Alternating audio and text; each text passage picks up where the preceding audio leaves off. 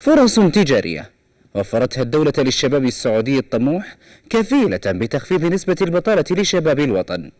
نايف وخالد استغلا الفرصة الذهبية في صيانة الهواتف لينطلقا بفكرة جديدة وهي خدمة العميل في مكانه من خلال عربة مجهزة وخبرة تقنية. بدأت الفكرة من آه، مشروع توطين قطاع الاتصالات. فجت على بالنا فكرة الصيانة أن ندخل في مجال الصيانة لكن المحلات غالية وغلاء الأسعار. ألجأنا إلى أخذ السيارة وفكرة الصيانة المتنقلة اجتمعنا سوا وسوينا الفكرة وطورنا هذا وأخذنا دورات حقت صيانة الجوالات.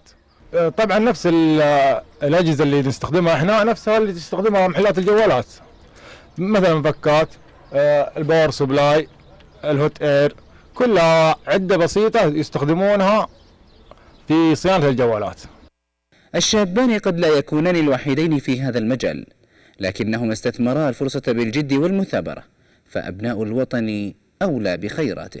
والله فكرة جدا ممتازة حيث إنها يعني سريعة المفعول على ما قال. يعني بدل لا أعطي جوالي محل وانتظر يوم يومين ولا أثق. لا هذا بكل سرية تامة وبكل يعني أريحية. يعني في غضون نص ساعة إلى ساعة إلا ربع تأخذ جوالك واسعار أقل ويعني عمل مضمون.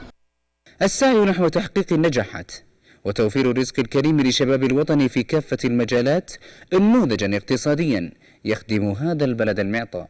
شابان سعوديان يقدمان على العمل الحر بفكرة وخدمة مميزة ليرسما الطريق نحو عمل تقني ومستقبل تجاري. نادر العتيبي الإخبارية مكة المكرمة.